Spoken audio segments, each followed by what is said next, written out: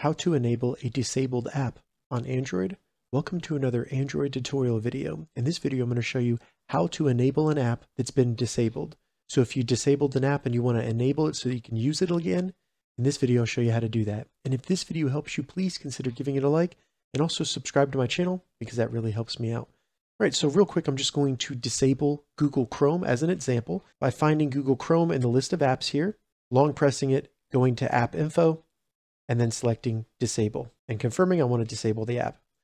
So now Google Chrome will no longer show up in the list of apps. In order to re-enable Google Chrome or any app that's been disabled, all I need to do is open up the settings on my Android phone. Once in the settings, then select apps or something like apps at the very top. Select see all apps.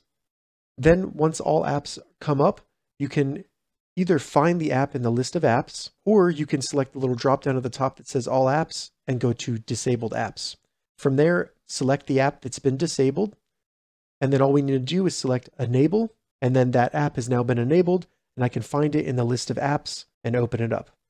All right, so that's how you enable a disabled app on Android phone or tablet. If you have any questions about this, leave a comment below. I'll get back to you as soon as I can. If you'd like to see more Android tips and tutorials, check the links in the description. If this video helped you, give it a thumbs up, and please consider subscribing to my channel, Gauging Gadgets, for more gadget reviews and tech tutorials. Thank you so much for watching.